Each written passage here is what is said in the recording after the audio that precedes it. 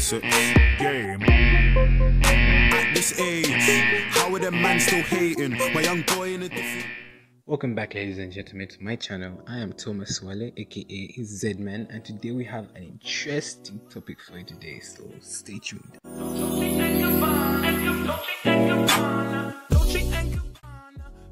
Today we're going to be talking about celebrities with the most social media influence. We're talking about all the social media platforms Facebook, Instagram, even YouTube. And don't forget, this is more of a series, so I'll be dealing with the celebrities one by one. So hit that subscribe button and also hit the notification bell so you can get a notification every time I post a video. First on our list, we have Iris Kaingu. Iris Kaingu is a really interesting topic because she's gone through a lot to reach where she is right now. And if you don't know how she blew up, it means maybe you're pretty young or you live under a rock.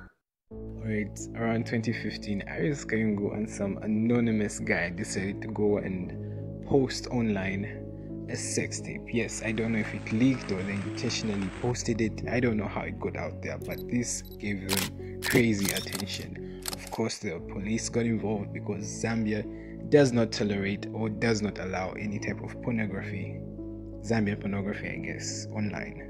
And so this gave her massive attention. This was all over news because her dad was some big man, powerful, I don't know, he's a minister or something. I read on some Zambian article that she got charged over a million kwacha, but you just know how Zambian articles are. They're mostly full of lies. But if you know what the real charge is, comment down below and let us know. But this gave her crazy attention. Everyone in Zambia wanted to know what Iris Kaingu was up to.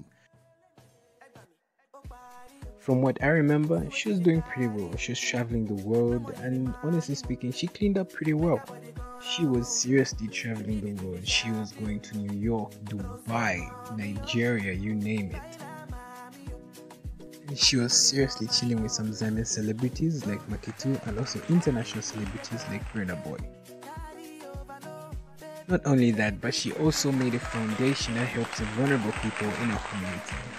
Can't get better than that.